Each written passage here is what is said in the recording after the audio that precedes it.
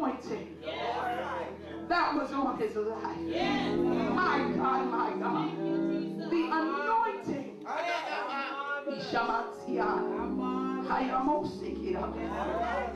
It will give you the ability to do things that seem impossible.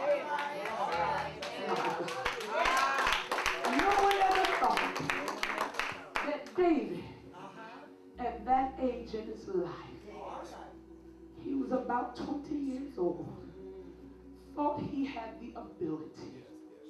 Even his own family counted him out.